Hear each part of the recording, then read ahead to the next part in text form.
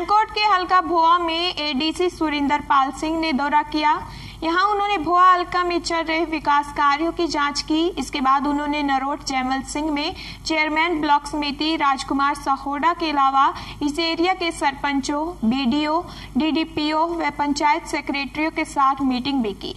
व चल रहे विकास कार्यों पर चर्चा भी की।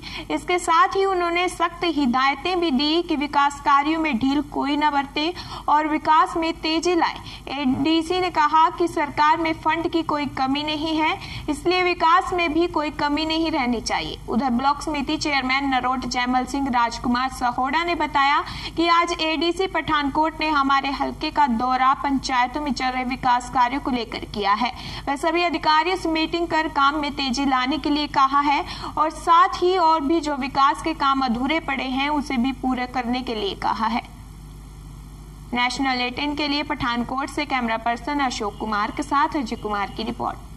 ਵਿਜਿਟ ਦੇ ਬਾਰੇ ਦੱਸਦੇ ਹਾਂ, ਅੱਜ ਜਿਹੜਾ ਹੈਗਾ ਮੈਂ ਰੋਡ ਜੈਮਲ ਸਿੰਘ ਬਲਾਕ ਤੇ ਉਹਦੇ ਨਾਲ ਉਸ ਤੋਂ ਬਾਅਦ ਬਨਿਆਲ ਬਲਾਕ ਦੀ ਜਿਹੜੀ ਅਸੀਂ ਇੱਕ ਵਿਜ਼ਿਟ ਕੀਤੀ ਹੈ, ਮੇਰੇ ਨਾਲ ਡੀਡੀਪੀਓ ਪਠਾਨਕੋਟ ਸਰਦਾਰ ਸਿੰਘ ਜੀ, ਨਾਲ ਐਸਡੀਓ ਪੰਚਾਇਤੀ ਰਾਜ ਵੀਡੀਓ ਸਾਹਿਬ, ਚੇਅਰਮੈਨ ਸਾਹਿਬ, ਵਾਈਸ ਚੇਅਰਮੈਨ, ਤੇ ਸਾਰੇ ਇਹਨਾਂ ਦੇ ਸੰਮਤੀ ਮੈਂਬਰ ਸਾਰੇ ਹਾਜ਼ਰ ਨੇ। ਅੱਜ ਅਸੀਂ ਜਿਹੜਾ ਹੈਗਾ, ਜਿਹੜੇ ਪਿੰਡਾਂ 'ਚ ਵੱਖ-ਵੱਖ ਵਿਕਾਸ ਦੇ ਕਾਰਜ ਹੋ ਰਹੇ ਨੇ, ਉਹਨਾਂ ਦਾ ਅਸੀਂ ਰਿਵਿਊ ਕੀਤਾ ਹੈਗਾ ਅਸੀਂ ਜਿਹੜੇ ਹੈਗੇ ਪੰਜ ਸੱਤ ਪਿੰਡ ਵੀ ਵਿਜ਼ਿਟ ਕੀਤੇ ਆ, ਜਿਹੜੇ ਆਨਗੋਇੰਗ ਕੰਮ ਹੈਗੇ ਆ, ਉਹਨਾਂ ਨੂੰ ਵੀ ਦੇਖਿਆ ਹੈਗਾ।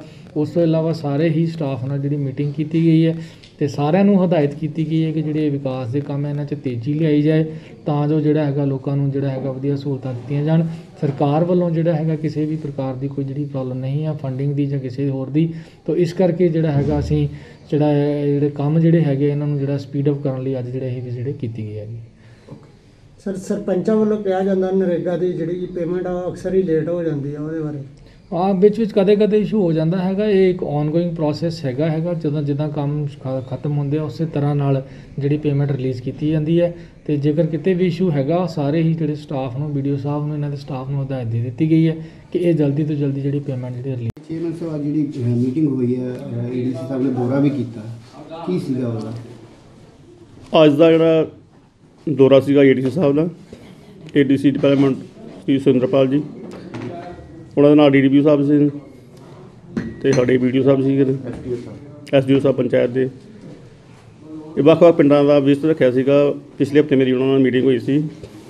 ਤੇ ਉਹਨਾਂ ਮੈਨੂੰ ਕਿਹਾ ਸੀਗਾ ਵੀ ਆਪਣੇ ਜਿਹੜੇ ਜਿੱਥੇ ਜਿਹੜੇ ਨੇ ਪਿੰਡਾਂ ਵਿੱਚ ਪੰਚਾਇਤ ਦੇ ਕੰਮ ਚੱਲ ਰਹੇ ਆ ਉਹ ਹੁਣ ਪਿੰਡਾਂ ਦਾ ਮੈਨੂੰ ਵੀ ਵਿਜ਼ਟ ਕਰਾਓ। ਤੇ ਹੁਣ ਅੱਜ ਉਸੇ ਕੜੀ ਦੇ ਤਹਿਤ ਜਿਹੜੇ ਜਿਹੜੇ ਪਿੰਡਾਂ ਦੇ ਕੰਮ ਚੱਲ ਰਹੇ ਸੀਗੇ ਉਹਨਾਂ ਪਿੰਡਾਂ ਦੇ ਉਹਨਾਂ ਦੀ ਵਿਜਿਟ ਕਰਵਾਈ ਉਹਨਾਂ ਨੂੰ।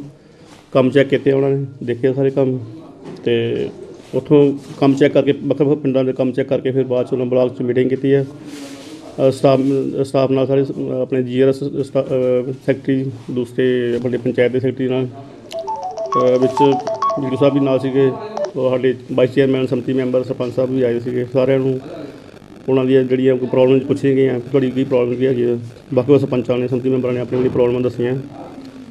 ਉਹਦੇ ਨਾਲ ਨਾਲ ਹੀ ਉਹਨਾਂ ਨੇ ਜਿਹੜਾ ਆਪਣਾ ਉਹਨਾਂ ਨੂੰ ਜੀਐਸ ਹੈਗੇ ਆ, ਉਹਨਾਂ ਨੂੰ ਮਤਲਬ ਕਿ ਇੱਕ ਸਟ੍ਰਿਕਟਲੀ ਹਦਾਇਤ ਕੀਤੀ ਹੈ ਕਿ ਜਿਹੜੇ ਜਿਹੜੇ ਪਿੰਡਾਂ ਦੇ ਕੰਮ ਚੱਲਦੇ ਪਏ ਆ ਉਹ ਉਹਨਾਂ ਕੰਮਾਂ 'ਚ ਤੇਜ਼ੀ ਲਿਆਓ। ਜਿਹੜੇ ਕੰਮਾਂ ਪੈਂਡਿੰਗ ਪਏ ਆ ਜਿਹੜੇ ਕੰਮ ਰਹਿ ਗਏ ਆ ਉਹਨਾਂ ਦੀ ਪਛਾਣ ਕਰਕੇ ਕੰਮ ਜਿਹੜੇ ਕਰਵਾਉਣ ਵਾਲੇ ਆ ਉਹਨਾਂ ਨੂੰ ਜਲਦੀ ਤੋਂ ਜਲਦੀ ਕੰਮ ਜਿਹੜਾ ਪਿੰਡਾਂ 'ਚ